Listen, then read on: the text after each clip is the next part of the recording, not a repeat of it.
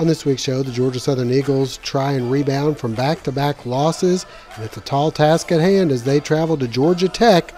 Previews and analysis upcoming as we welcome you inside the Eagles Nest.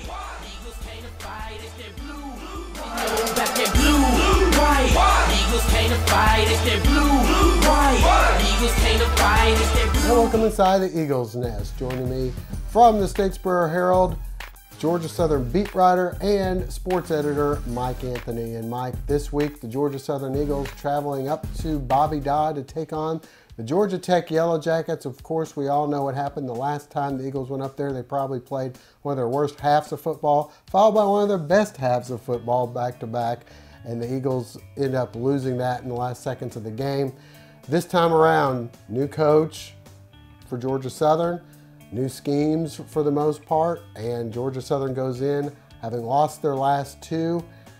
Your thoughts on how this thing is setting up for Georgia Southern versus Georgia Tech? It's really tough to tell. Uh, at the beginning of the season, you had people calling for this to be an upset. You had everybody talking like they were going to finish like they uh, uh, did in the second half, play four quarters that way. A lot of people almost uh, starting to write down that W in the column after Georgia Tech had a rough 2015 campaign. Since then, a whole lot less confidence, I guess you could say, coming from uh, the Georgia Southern community. Uh, three wins to start the season, but maybe a lack of explosiveness, some questions lingering about how good this team could be. And then the last two weeks, you've seen those fears kind of come to fruition. Going up to Western Michigan, which is now a top 25 team, that loss not looking so bad. However, when you look at the ways in which they lost the game, the big plays, that's what stings you. You can't afford to give up big plays like that. The next week, they turn around, go to Arkansas State in a conference game where they could have really taken a hold of the Sun Belt Conference. All the big plays went their way all the little ones didn't. They weren't able to convert points off the turnovers, weren't able to stop a couple of late drives, and now they're sitting in the middle of the pack in the Sun Belt, again, leaking some confidence and trying to get back on track, maybe getting out of conference play, just taking a swing at one of those uh, big boys of the Power Five will do the trick. Recently, I guess Coach Summers and some of the coaching staff have come into some questions, especially having to do with that Arkansas State. I think it started in the Louisiana Monroe game. There were some questions more about what's up with the offense. You know, you got maybe five of the top backs we've ever had. They just don't seem to be able to break free and make big plays. We've got most of the players back from last year. It just seems a little strange. Then that turned into as you mentioned, the Western uh, Michigan game, and then you had the Arkansas State game, which at the time they were winless on the mm-hmm. season, had just lost to an FCS team. We know they're a little bit better than maybe their record showed, but still, Georgia Southern had five gifts in the form of turnovers, could only result in three points, end up losing that game and losing a lot of maybe what the fans were thinking, oh, okay, maybe that was just a blip with Western Michigan and we'll come back. Now this week, you've got two coaches actually that are coming under a lot of fire because Paul Johnson has lost the last couple games and Georgia Tech, there's got to be some movement there mm -hmm. of fans that are a little upset. And you got Georgia Southern, you put them together and you've got, you know, I don't even know if Georgia Tech winning by what the spread is, 10 points, is going to be happy for the Georgia Tech fans. Well, you look at this game, and we mentioned going into the Arkansas State game how even with that 0 4 record for the Red Wolves, you couldn't be too confident because it was a team that showed it had talent, and it was a team whose pride was hurt, and those are dangerous teams.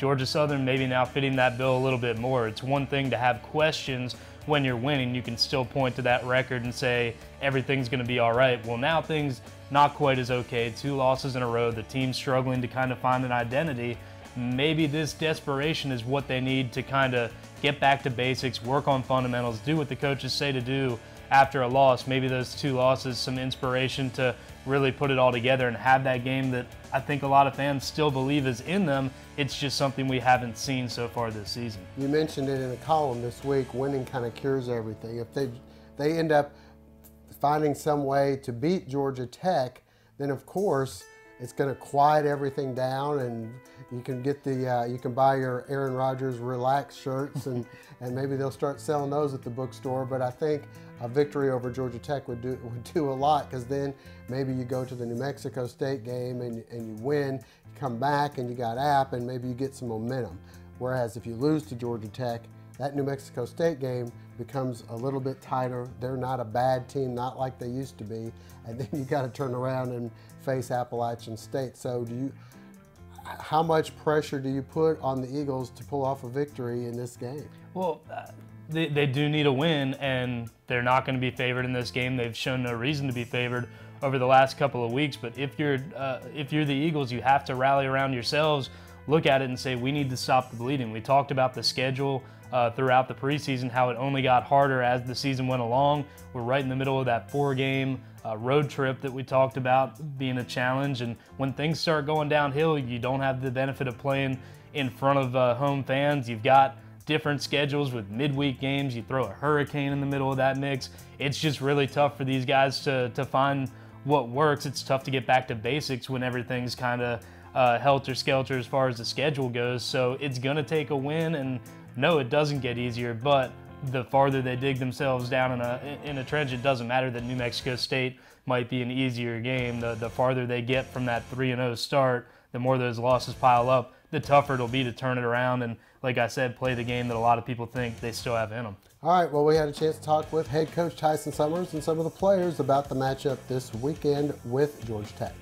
I think it's a cool game. I mean, I don't know what uh, uh, a different way of being able to say it. You know, like you said, the, the history between Paul Johnson obviously haven't been here, Mike Sewak haven't been here, both former head coaches of Georgia Southern that had a good bit of success, and then you know being able to take all these ties from guys in the state. You know, it's, uh, certainly a P5 opponent, it's an in-state opponent, somebody right down the road from what we play. Uh, I do think that there's a lot of tradition that kind of overlaps between the two places, and uh, and so we're looking forward to the opportunity. Obviously, Georgia Tech's talented football team, and uh, and has played in some tight games. I know that uh, they haven't had necessarily the success they'd like to the last week or two, but they played as well as anybody can. They do a good job on offense, obviously with Coach Johnson and the staff that he's really had for. Uh, my guess would be outside of one or two adjustments. He's had the same group for about 25 years, you know, uh, defensively you know, obviously Ted Roof, having played there, the success that he was able to have as both an assistant coach, coordinator, guy that's been a head coach in the ACC, uh, and is now back as a defensive coordinator, doing a fantastic job with the defense. So we're looking forward to the opportunity. It's been tough, uh, but I think uh, after the game was over, after we had our team meeting, I think we are on all on the same page, and uh, we're ready to get back to work. Uh, especially, it's really tough to lose, especially here at Georgia Southern. But like I said, we just have to, you know, just stay together, not point fingers at anybody uh, and just keep working hard together, and uh, you know something is going to come out of that. I think this is going to be our toughest challenge. Uh, every game is going to be a tough challenge, and Georgia Tech's a good football team. Uh, it's an in-state rival, if we, uh, you know, and uh, they're going to be ready to play against us. And you know we have to be ready. I know they're going to get ready for us, and you know it's going to be an effort and a toughness game. this game is going to be important for both of us, especially both of us coming from a loss. So, uh, you know, we're going to be ready. I know they're going to be ready, and it's going to be a good game on Saturday. Defensively, we're working on a lot of things to help improve our game. You know, uh, last week was kind of bad for us, but uh, we're looking to regroup and bounce back. Uh, Georgia Tech, going against them, you have to be very disciplined. You know, um, they do a lot of things to get you off your keys and things like that, so it could open up big plays, and if that's that's their goal to make make big plays, and we're just trying to eliminate that. Teams have been trying to make us throw the ball, you know, by crowding the box. But you know, we're going we're Georgia Southern, so we're going to continue to run the ball in the middle. And you know, those creases are going to open up for all our running backs. And, you know, we're just going to keep being able to get the ball out on the perimeter to all our great receivers. Y'all have a chip on your shoulder right now? We do, and we're ready to let it loose.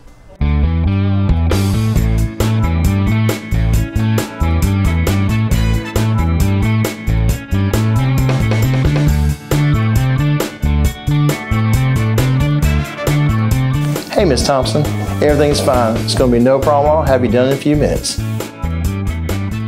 My name is Paisley Nordhoff, part owner of Complete Car Care, and I want you to come see me.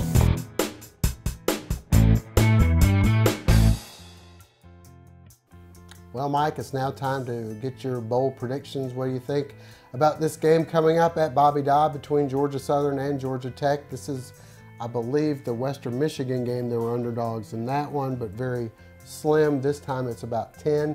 Uh, your thoughts on how this one's going to play out? Well, Georgia Tech, as you mentioned, has been struggling a little bit. They've dropped a few in a row after a good start for them. I, I, think that their defense certainly won't be surprised by anything Georgia Southern can throw at them, whether it's option or you know running that inside read up the middle. You see plenty of that in the ACC with some of the explosive teams they have there. Once again, it's going to be about getting those athletes in space.